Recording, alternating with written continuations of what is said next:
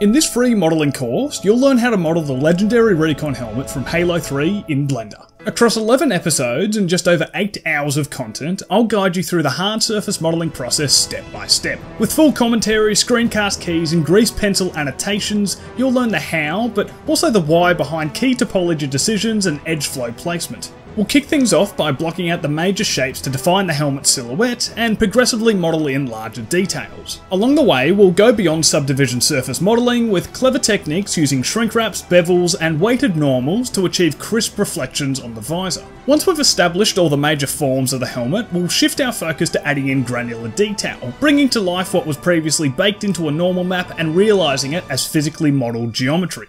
So yes, you can have recon, and by the end of this series you'll have a high quality helmet model to show off, along with a firm grasp of advanced hard surface modelling techniques to add to your skill set. So let's dive in and model something truly iconic.